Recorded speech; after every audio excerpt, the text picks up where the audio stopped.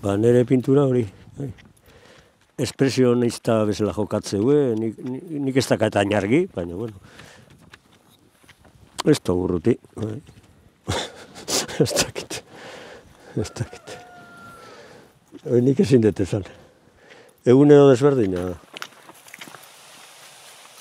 Hombre, referentzi batzu daskatzu beti, eh? Hori da, hori da. O aberiak, edo figurak, edo aldamereko paisajia, ez da, baina. Eta askatosun osoakin, margotzi, eh? Eta gero pixkanaka sortzen dihua, bakarrik.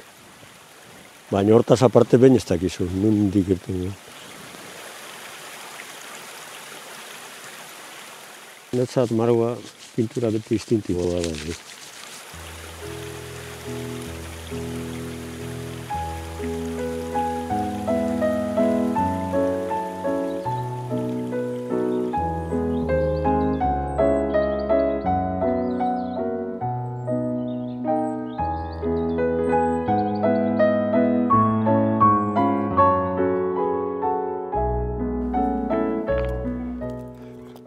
Leizetan, era, era guztitako margoa daude, eh?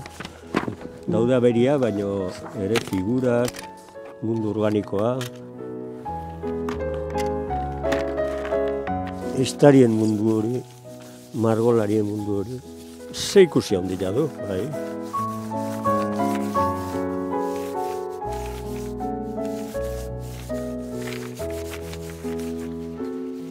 Ni margotzeko erabiltzituten erramita danetik, e, gertu dakaten guzti guzti. Ikatz buska, makilak, lokarrik, eskuk askore. Hankak ere, bai. Gertu dakaten gauz guztik.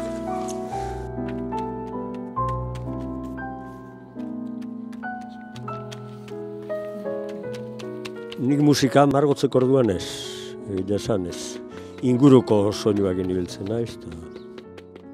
Baina, bueno, erdi aroko asko, eta ero ba, bi baldi, Una geho, rokare bai, roka asko gustatzen. Asko, musika asko.